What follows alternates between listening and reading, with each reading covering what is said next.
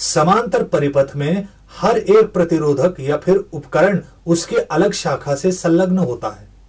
शाखा की रेखाओं का अर्थ होता है कि यहाँ आवेश को बाह्य परिपथ को पार करने के लिए अनेक रास्ते मिल जाते हैं। हर एक आवेश जो बाह्य परिपथ के लूप को पार करेगा, वो शाखा में स्थित एक ही प्रतिरोधक से गुजरेगा। जब आवेश परिपथ की शाखाओं तक या कहे आसंधि तक पहुँचता है तब वो कम विभव वाले टर्मिनल तक की शाखा द्वारा जाया जाए, ये चुनता है।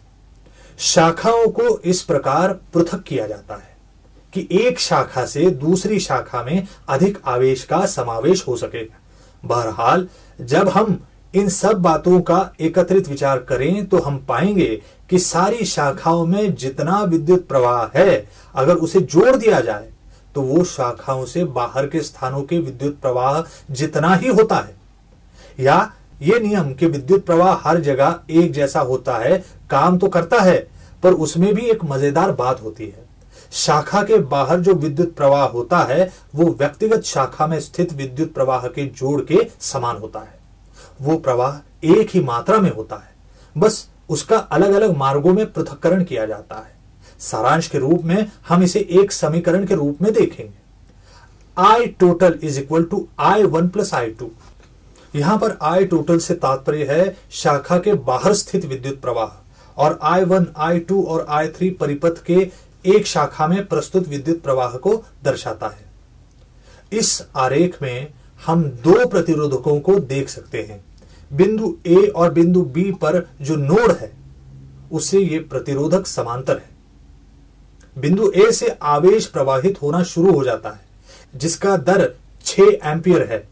वो आगे जाकर दो पथों में विभाजित हो जाते हैं। एक पहले प्रतिरोधक से गुजरता है और दूसरा दूसरे प्रतिरोधक से होकर गुजरता है। पहली शाखा जहाँ पर पहला प्रतिरोधक है, वहाँ का प्रवाह चार एम्पियर है और दूसरे प्रतिरोधक की शाखा में प्रवाह आठ एम्पियर है। जब ये दोनों शाखाएँ बी बिंदु पर मिलकर एक रेशा बनाती है, तब प्रवाह फिर से एक बार 12 एम्पियर हो जाता है। इस प्रकार हम इस सिद्धांत की सिद्धता को देख सकते हैं कि शाखा के बाहर जो प्रवाह है, वो व्यक्तिगत शाखाओं के जोड़ के जितना होता है। I total is equal to I one plus I two बारह ampere is equal to four ampere अधिक एट एम्पियर समतुल्य प्रतिरोध। परिपथ में समतुल्य प्रतिरोध का अर्थ है कि परिपथ में एक अकेले प्रतिरोधक द्वारा उतनी ही मात्रा में प्रतिरोध स्थापित किया जाएगा।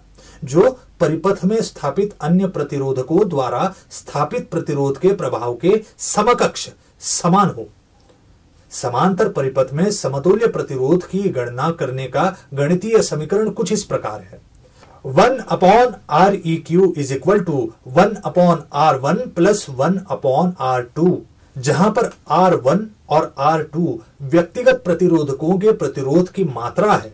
ये प्रतिरोधक समांतर रूप से जुड़े हुए हैं। दो प्रतिरोधक समांतर शाखाओं पर स्थित है। दोनों का प्रतिरोधक मूल्य क्रमशः छह ओहम और तीन ओहम है। व्यक्तिगत शाखा द्वारा आवेश को प्रतिरोधित किया जाएगा। जिस शाखा में तीन ओहम का प्रतिरोधक है, वहाँ अधिक आवेश प्रवाहित होगा, आठ एम्पियर। वहीं दूसरी ओर छह ओहम वाले प्रतिरोधक के द्वारा कम आवेश प्रवाहित होगा, चार एम्पियर। समीकरण के अनुसार समतुल्य प्रतिरोध दो अहम होगा और परिपथ में विद्युत प्रवाह अभी भी 12 एम्पियर ही रहेगा। वोल्टेज में कमी आवेश हर एक प्रतिरोधक में से नहीं गुजरता है, बल्कि वो सिर्फ़ एक ही प्रतिरोधक से होकर जाता है। इसलिए प्रतिरोधक का संपूर्ण वोल्टेज उस प्रतिरोधक के मामले में कम होता है और उसे बैटरी के वोल्टेज के समान होना ज़रूरी होता है। आवेश एक प्रतिरोधक से होकर गुजरता है या दो, इससे कोई फ़र्क नहीं पड़ता। आवेश के द्वारा किसी भी परिपथ पर किसी भी प्रतिरोधक के पार जाते समय जो वोल्टेज की कमी आती है, वो बैटरी के वोल्टेज की जितनी होनी चाहिए। इस सिद्धांत को निम्नलिखित समीकरण द्वारा दिखाया जा सकता है।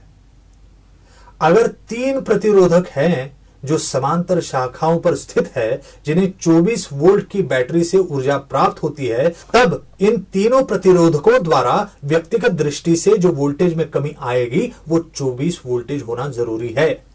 परिपथ से जाते हुए आवेश का इनमें से एक ही प्रतिरोधक के साथ सामना होगा। इसलिए एक ही वोल्टेज की कमी जो 24 वोल्टेज है, होने वाली है। विद्युत विभवांतर का आलेख वो संकल्पनात्मक साधन है। जिसके द्वारा परिपथ के अनेक बिंदुओं में जो विभवांतर है, उसे दर्शाया जाता है। इसी कारण परिपथ का आलेख करते समय हमें उससे संबंधित विद्युत विभवांतर के आलेख का भी ध्यान रखना ज़रूरी होता है। जिस प्रकार आरेख में दिखाया गया है ए बी डी इन सारे बिंदुओं पर उच्च विद्युत विभव है। कोई आवेश उन दो संभावित पथों में से किसी एक पथ को ही चुनेगा। इसलिए बी बिंदु में से एक अकेला आवेश सी बिंदु की ओर बढ़ेगा और फिर उस शाखा में स्थित प्रतिरोधक के पार जाएगा। आवेश अपने उच्च विद्युत विभव को तब तक नहीं खोता जब तक वो प्रतिरोधक के पार नहीं जाता। जब आवेश प्रतिरोधक के पार गुजरता है, वो पुनः एक बार शून्य वोल्ट हो जाता है और ऋणात्मक टर्मिनल की ओर लौट आते हैं ताकि उनके वोल्टेज में बढ़ोतरी आ जाए। श्रेणी क्रम परिपथ के विपरीत समांतर परिपथ में बाह्य परिपथ से होकर जाते समय सिर्फ़ एक बार ही वोल्टेज में कमी आती है। सारांश, हमने सिमुलेशन के ज़रिए श्रेणी क्रम और समांतर परिपथों के बारे में जाना। इसके साथ अंतर्गत और बाह्य परिपथ में संचार करते समय आवेशों के व्यवहार को समझने की कोशिश की।